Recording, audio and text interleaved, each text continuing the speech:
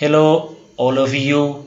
This is the lesson on autoregressive distributed lag uh, pre and post estimation tests through using EViews 12. Welcome to my YouTube channel. If you are new to this channel, uh, I invite you to subscribe uh, now to get uh, updates uh, on uh, this lesson and the related topics. Before proceeding to the uh, pre and post estimation tests of the autoregressive distributed lag, uh, let us see uh, the uh, reason of employing ARDL model in uh, time series uh, data. The central reason for employing ARDL model for time series data is the sample size when uh, your sample size uh, is less than 30 in time series data, uh, you are supposed to employ the uh, ARDL uh, model. The other one is order of integration. When the order of integration is mixed, uh, again the ARDL provide more accurate and unbiased estimates than the vector error correction model. Finally, the autoregressive distributed lag model estimates both the short run and long run coefficient simultaneously through using uh, ARDL uh, bound and long term uh, or long run uh, tests. So let us proceed to the pre and post estimation test. Under ARDL model, uh, there are uh, a pre and post estimation tests. So let us see the pre-estimation tests for this model. Uh, the first one is uh, correlation. Correlation. A correlation uh, matrix dem demonstrates the degree of relationship that exists between independent and dependent variable. There are steps uh, in EViews 12 uh, to conduct this uh, correlation you are uh, going to click on quick then uh, uh, there are uh, a group statistics statistics then uh, correlation correlation uh, so you will get the result of the correlation matrix result when you follow these steps the other issue is uh, unit root or stationarity test. Uh, as you know that in uh, time series analysis, stationarity is a critical to avoid erroneous regression result. Therefore, you should uh, you should uh, employ the stationarity tests before uh, a regression analysis.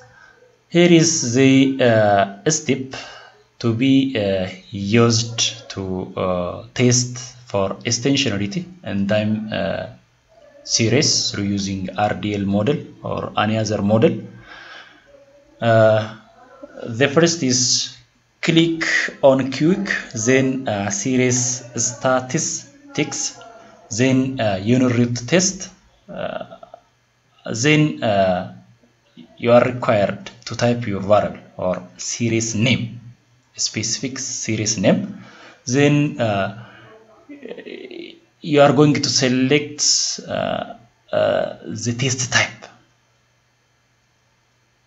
Then uh, when we select the, the test type there are various tests. The first one is ADF and Philippines pattern and Dickey Fuller GLS uh, test is there. So uh, based on your uh, interests uh, you will choose among them one of them one of them uh, so uh, following this step uh, uh, leads to testing of the unit root test and the uh, EViews the other is interpretation of this unit root or extensionality test look at here look at here uh, I used augmented Dickey Fuller test, uh, Fuller test, which is ADF. Interpretation is look at over here. When absolute value of t statistics for a specific test is greater than absolute value of t critical value at 1 or 5 or 10 percent the data is stationary. The data is uh, stationary. The data is stationary. So look at the uh, result. Augmented Dickey Fuller test. The uh, t statistics is 5.13 absolute value again the t critical value at 1% is 3.75 75 therefore the t statistics is greater than the t critical value which confirms the stationarity of the data as the first difference. If one d here is the first difference. First difference then uh, Schwarz, Schwarz information criteria is employed. There is now uh, lag length and maximum lag is uh, 5. 5. The other is multi-collinearity test uh, to arrive at an appropriate conclusion. A multi-collinearity test is conducted to discover explanatory variables with high correlation value. The best test is variance inflation factors. This variance inflation factor is maybe uh, I classified uh, them uh, into two uncentered and centered variables. Centered variables means that variable have low intercorrelation, while uncentered variables have higher intercorrelation resulting in more collinearity. This is confirmed by the authors in 2009. Steps to test multicollinearity in EViews 12 objects, then new object, then equation, then type of variable, which is dependent variable followed by independent variable. Then select a method. Uh, the method is ARDL. Then go to click on view, then coefficient diagnostic test, then variance inflation factors. After that, the result is uh, displayed. Look at this result. The centered, the centered variance inflation factor has low correlation value. Look at this one. Look at this centered by VIF. Then uncentered variance inflation factors has how correlation value. How correlation value.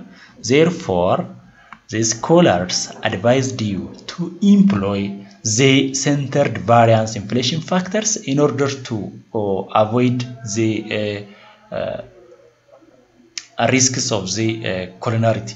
Risks of the uh, collinearity. The other issue is heteroscedasticity tests. Here uh, we are going to, uh, I am going to uh, show you the Breusch Pagan, Godfrey and ARCH uh, tests. Here is the steps. You can click on view after regression, then uh, uh, residual diagnostics, then heteroscedasticity test, then select Breusch Pagan um, Godfrey or uh, ARCH, uh, then OK. So here uh, Pagan uh, Godfrey is here. Impose uh, test when uh, the value is uh, or the probability value of F statics or observed R squared is uh, insignificant. The model is free from heteroscedasticity. Heteroscedasticity, uh, uh, which means uh, the data is homoscedasticity. The other test is normality test. The interpretation is depicted here. the histogram should be bell-shaped if the residuals are normally distributed and then uh, Jarque-Bera statistics should not be significant. Here is the steps to test normality. In view 12 uh, view the residual diagnostic then histogram normality test. So uh, this is the uh, result. The probability is uh, uh, I mean the probability should be uh, insignificant which means greater than your significant value. Maybe it is 10% 1% or 5% if the value is greater than that value the data is normal the other issue is stability test. Uh, uh, uh, the stability test is performed to ensure that the model under, under consideration is stable. For instance, approaches to I mean approaches proposed by uh, Brown, such as cumulative sum of recursive residuals and cumulative sum of square recursive residuals is used interpretation uh, when a blue line, uh, which means a blue line should be rested between two yellow line.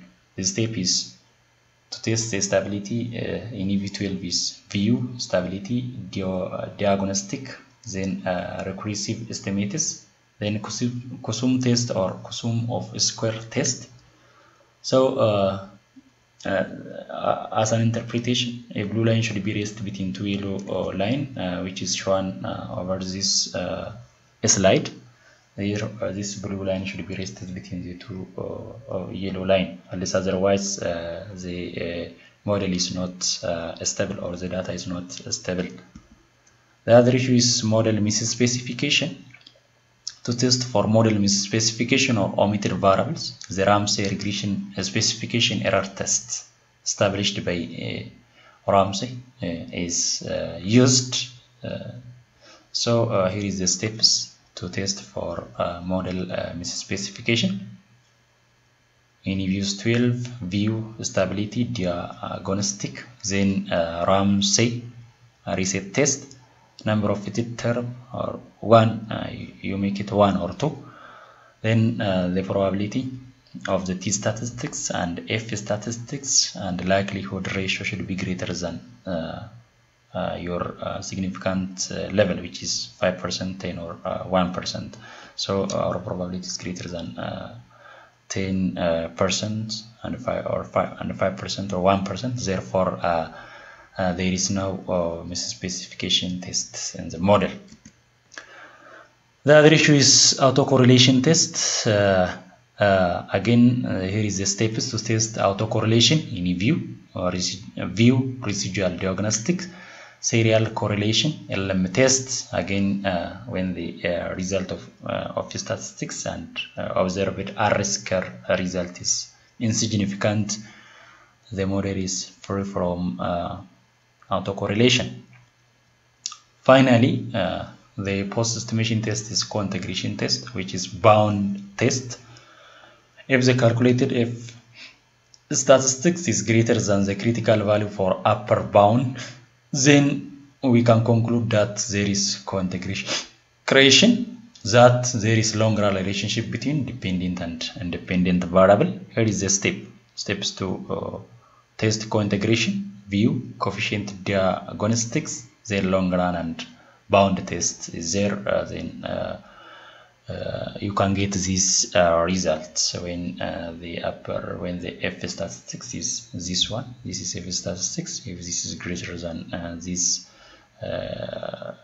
value for upper bound test there is the existence of the co-integration all about the model, uh, the ARDL model post and pre-estimation test. If you have any question, you can comment on uh, our, uh, or my YouTube channel. Thank you very much for watching and uh, like and subscribe uh, to get further update. Thank you very much.